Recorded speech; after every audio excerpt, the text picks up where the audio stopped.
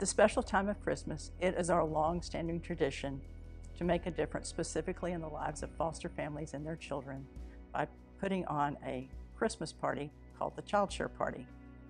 We have a mission we call the Giving Tree, where in the most simplistic terms, we begin by collecting all the gifts for uh, requests that the families have made and then putting on this uh, party to distribute all those gifts.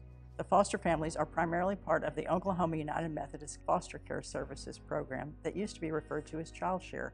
I have the role of coordinating between Circle of Care and all of you. I have the great joy of watching you guys come together to meticulously put together tags and then carefully selecting those tags off of our giving trees, of bringing back your gifts with smiles and love. And I even get to be thanked for accepting your generous donations of money and other gifts for the use of uh, the foster families and their kids. I get to watch as you all come together to wrap those gifts and have such a good time doing so, and then uh, set up for our wonderful party.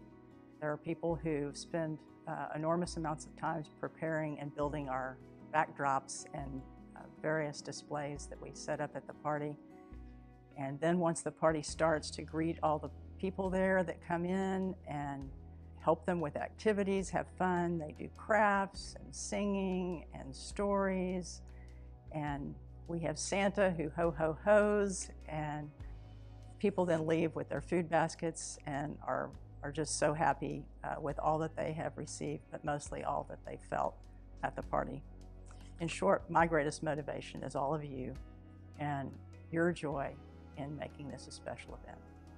One of my favorite thank you notes came in a card and on the card was a quote from Maya Angelou that read, I've learned that people will forget what you say, people will forget what you do, but people will never forget how you made them feel. The particular foster family who used this card went on to write, You all do a wonderful job of being Christ's hands and feet. Thank you, thank you, especially for making these two sweet girls feel special on this very hard holiday away from their birth family.